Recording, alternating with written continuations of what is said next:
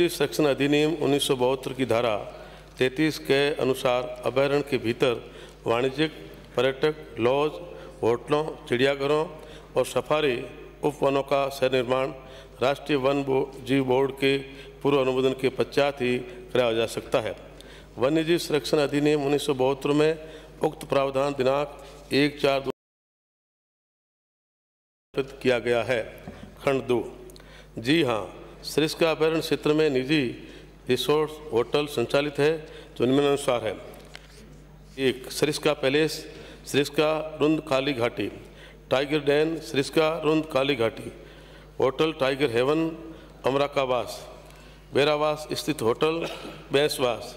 सरिस्का ढाणी इंदो खंड तीन, जी नहीं, विवरण परिशिष्ट ए अनुसार है। माननीय मंत्री जी ने जो होटल जो संचालित हो रहे हैं, उनकी जो सूची दी है, वो बहुत कम है।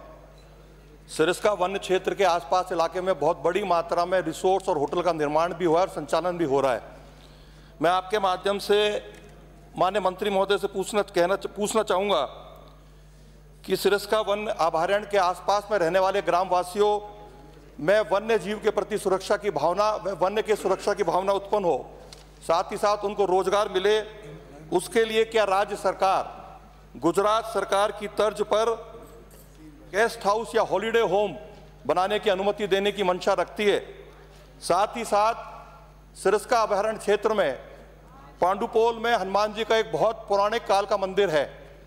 उसमें पूर्व में मंगलवार व शनिवार को प्रश्न मान सकते प्रश्न। प्रश्न ये है एक तो अनु, समझ में आ गया प्रश्न पूछे दूसरा खोलने की अनुमति देना चाहते हैं या अब जो निर्माण कार्य चल रहे हैं और जिस प्रकार से वहाँ संचालन हो रहा है तो क्या वन अधिकारियों की देखरेख में जो निर्माण हुए हैं, उन वन अधिकारियों के खिलाफ सरकार उचित कार्रवाई करने की मंशा रखती है? मान्य अध्यक्ष जी, होटल सरिस्का पैलेस ये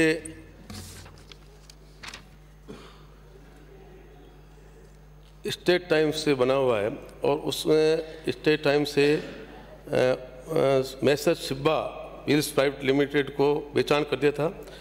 उसकी कोर्ट निस्त करने की कार्रवाई चल रही है। और एक दूसरा है hotel Tiger Dam Tiger Dam RTDC को द्वारा संचालित है। तीसरी है होटल टाइगर हेवन इसका कोर्ट के अंदर मामला लंबित है। एक अगली जो होटल है वो बेरावास स्थित होटल है। उसका बेरावास होटल का रमेश ठेकेदार के खिलाफ में एस में कार्रवाई चल रही है। एक सरिस्का ढाणी है, इसका संचालन वर्तमान में बंद है। साथ ही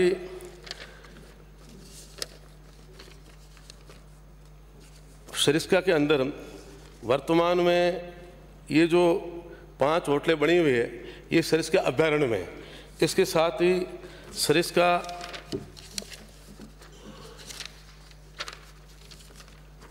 Sariska tiger reserve core है, उसमें टाइगर रिज़र्व कोर में होटल अमन बाग अजमेर संचालित है। वर्तमान में मतलब अजमेर कोर्ट में विचारण है।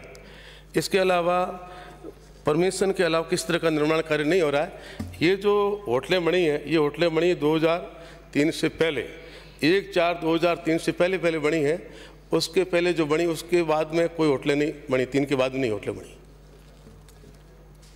अध्यक्ष जी मैंने जी।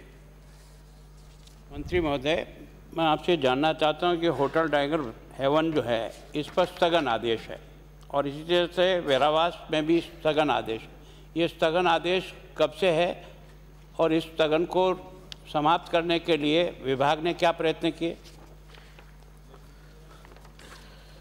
टाइगर हेवन में तीन सात दो हज़ार उन्नीस निर्णय पारित किया है।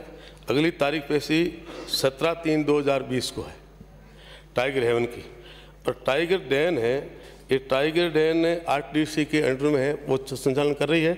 इसको मतलब 12 मई उन्नीस सौ पिचहत्तर को फॉरेस्ट विभाग ने चार चौदह आठ दो हज़ार पिचहत्तर को उनको संचालन किए, आरटीडीसी को दे दिया गया था। अगला प्रश्न, संजय पूछना माननीय अध्यक्ष महोदय, माननीय मंत्री महोदय से मेरा प्रश्न था कि क्या गुजरात सरकार की तर्ज पर ग्रामीण क्षेत्र के आसपास बचे ग्रामीणों को रोज़गार मिले? उसके लिए क्या हम हॉलीडे होम या गेस्ट हाउस बनाने की मंशा रखते हैं? साथ ही साथ पांडुपोल में जाने के लिए पहले निःशुल्क वाहन जाने की व्यवस्था थी मंगलवार और शनिवार को। अब उस पर शुल्क लगा दिया है। क्या सरकार श्रद्धालुओं को वहाँ जाने के लिए खुद के व्हीकल निजी वाहनों से जाने के लिए निःशुल्क करने की मंशा रखती है। बस काफ़ी बहुत ज़्यादा हो गया। में एक स्विमिंग पूल है प्रश्न उत्तर सुनना है बोलना है? मौत हो रही है। उत्तर सुनना है बोलना है?